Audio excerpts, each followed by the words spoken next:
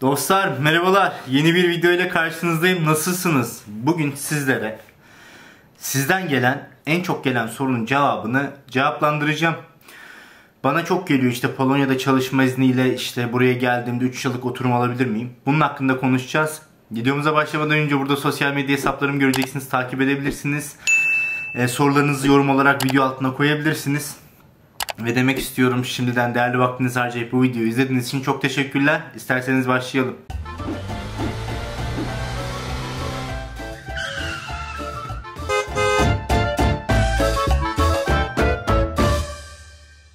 Dostlar şimdi Polonya'ya çalışma izniyle geldiğinizde burada oturuma başvurabilirsiniz tabii ki de. Ee, oturum izninin ne anlama geldiğini uzun uzun anlatmayacağım. Buraya bir tane videom vardı zaten. Onu izleyebilirsiniz detaylı olarak. Onu koyacağım.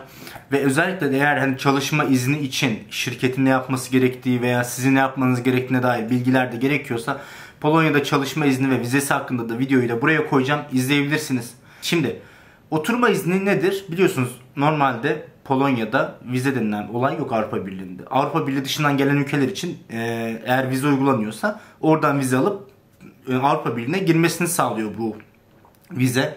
Ama Avrupa Birliği içerisinde herhangi bir e, vize uzatacağınız bir yer yok. Onun için de burada oturuma başvurmanız lazım.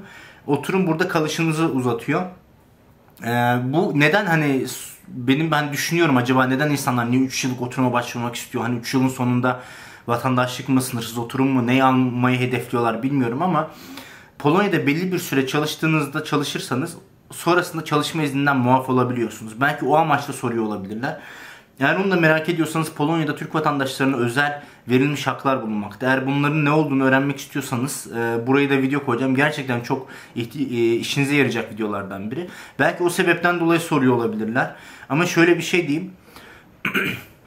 Şimdi buraya birçok kişi para işte para van şirketlere para verip işte hani çalışma izni alıp buraya gelip hani Uber yapmak istiyor ya da başka ülkelere gitmek istiyorlar ama yani bunu videolarımda kaç defa anlattım hani değinmeyeceğim ama buraya mesela geliyorsunuz 3 yıllık oturum alacağım diyorsunuz da mesela burada çalışma izni çıkaran şirkette çalışıp atıyorum 3 yıllık oturum aldınız. Sonunda e, işi sevmezseniz ne olacak? İşten ayrılacaksınız. Yeni çalışma izni gerekecek. Yani o oturumunuz da iptal olacak. Yani ee, şimdiden bence bunları düşünmek için e, çok erken.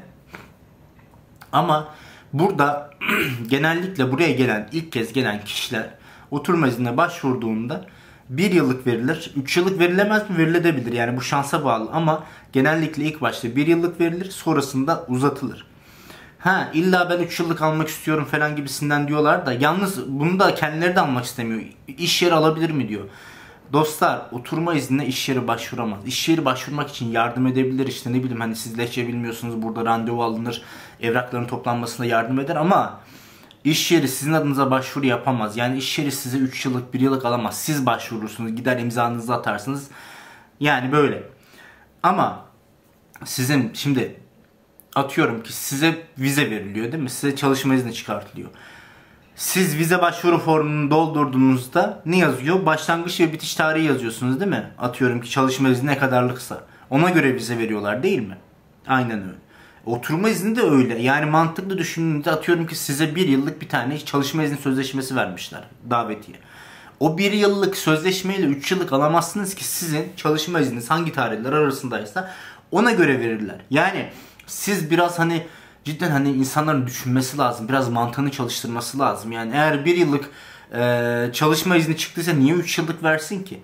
Ha ne olur? E, normalde 3 yıllığı çok sık vermezler ama verebilirler. Mesela benim bir arkadaşım geldi. Benim eski çalıştığım şirkete. Yani dünyanın en büyük şirketlerinden biri mühendis olarak geldi. Yani sponsorlukla yani her şeyini ödediler. Geldi buraya işte tüm başvurular, kira bilmem ne yani aklınıza gelebilecek her şey. O mesela Blue Card'a başvurdu. Direkt 3 yıllık verdiler ilk başvurusunda. Hem de kısa sürede çıktı yani 3-4 ayda. Ama e, buraya eğer geliyorsanız ve bir yıllık sözleşmeniz varsa size verecekleri oturum izni bir yıllıktır. Ama şimdi halihazırda buraya geleceksiniz, çalışacaksınız zaten bir yıldan kısa süre kalacak zaten. Oturuma başvurduğunuzda size iş veren şirkete demeniz lazım ki bak benim sözleşmem bitiyor. Bitecek yani bir yıldan az sürede.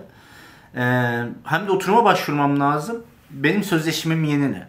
Ve özellikle eğer 3 yıllık sözleşme alırsanız kendilerinden ve çalışma izninizi 3 yıl uzatırlarsa bu sefer oturma iznine başvurduğunuzda 3 yıllık çalışma izniniz ve sözleşmeniz olduğundan dolayı e, size 3 e, yıllık verebilirler. Ama şunu diyeyim yani hani çok fazla değin, de, değinmeyeceğim. Hani bazı kişiler e, nefret dolu yorumlar yapıyorlar ama e, buradaki çalışma izni ayarlayan şirketler yani çoğu umut tüccarı inanmayın işte gideceksin orada istediğin ülkede çalışacaksın bilmem ne yapacaksın öyle bir şey yok. Ha şöyle olabilir bazı şirketler bulunmakta buradan kiralıyor başka ülkelere. Yani sizin sigortanız her şeyiniz burada yatıyor. Size gittiğiniz ülkeye göre bir para veriyorlar. Gidiyorsunuz orada yani sizi kiralayarak orada çalışma hakkınız oluyor. Ama şimdi o şirketler babasının ayrına yapmıyor. Atıyorum siz Belçika'ya gideceksiniz. Saatlik ücret ne kadar? 5 birim diyelim. Mesela atıyorum ki oradaki saatlik ücreti bilmiyorum. Adam sana 5 birim vermeyecek ki adam seni kiralıyor.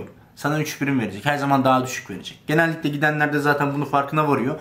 Ondan sonra ben işte seninle çalışmıyorum gibisinden feshediyor. Başka yerlerde çalışıyorlar ama zaten o diğer Avrupa ülkelerinde çalışma izni kolay olsaydı herkes para verip Polonya'da çalışma izni çıkarmazdı değil mi?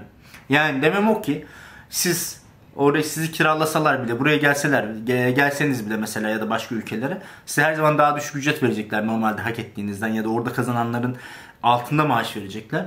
Ya öyle bir durum olduğunda başka hani şirketler belki ayarlanır mı ayarlanmaz mı bilmiyorum. Da ki ayarlansaydı kimse Polonya'ya gelmezdi. Direkt Belçika'ya, Norveç'e, Danimarka'ya giderlerdi. Ki zor. Yani genel olarak dediğim konu bu. Hem de bir o çalışma iznine biraz değinmek istemiştim. Hani çalışılabilir mi başka şey yerlerde falan. Dediğim gibi eğer siz burada Polonya'da e, oturma iznine başvurmak istiyorsanız yani burada kalışınızı uzatmak istiyorsanız e, biz zaten hani burada sözleşmenizi uzatmanız ve hani e, çalışma izninizi uzatmanız için işverenin sizi beğenmesi lazım. Gerçekten hani çok iyi çalışmanız lazım ki o güveni verin. O güveni verirseniz zaten işveren yapar. Yani dediğim gibi bir yıllık normalde size verilen çalışma izni davetiyesi ve sözleşmeyle 3 yıllığa başvura, başvuramazsınız. Size işveren tarafından verilen doküman ne kadar uzun olursa başvuru yani başlangıç ve bitiş tarihi ona göre e, Polonya hükümeti belediyede size ona göre e, oturma izni verir. Yani bir yıllık alıp burada 3 yıllık 5 yıllık almayı beklemeyin. Ve genel olarak hani bu kıstasları bulunmakta direkt 3 yıl alan da var. Benim arkadaşımdan bahsettim ama buraya ilk defa gelen kişiler genellikle normal statüde geliyorsa ve hani böyle çok e, kalifiye bir alanda çalışmıyorsa böyle uluslararası şirket adı tanınan mühendis gibi bir alanlarda ve çok yüksek maaşla başlamıyorsa yani 3 yıllık biraz e, zor değil alanlar var ama ilk başta genellikle dediğim gibi 1 yıllık verirler sonrasında 3 yıllık verirler. E, ama alabilirsiniz yani. Ben burada doğruları kendi tecrübelerime dayanarak size açıklamak istedim. Genel olarak videomuz böyleydi.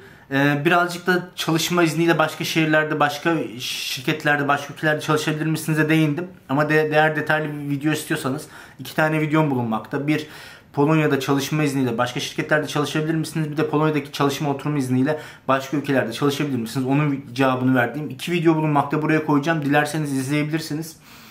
Ee, eğer hani sorularınız olsa lütfen yorumlara yazın. Ee, YouTube yorumlarına. Oradan ben herkesin sorusunu cevaplıyorum zaten. Onun haricinde burada sosyal medya hesaplarımı göreceksiniz. Dostlar takip edebilir, arkadaşım olabilirsiniz benim.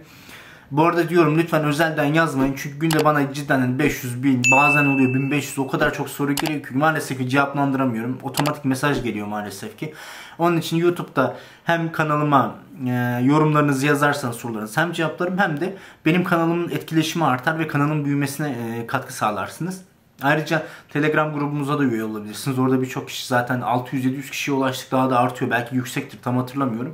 Orada insanlar birbirlerine sorularını soruyorlar. Aktif iletişimde bulunuyorlar. Dediğim gibi oradan da e, grubumuza katılabilirsiniz. Çok teşekkürler tekrardan değerli vaktinizi harcayıp bu videoyu izlediğiniz için hala kanalı takip etmiyorsanız takip edip ve beğenmeyi unutmayın. Ee, tabii eğer bu videonun değerli olduğunu düşünüyorsanız çok teşekkürler. Sonraki videolarda görüşürüz. Hoşçakalın.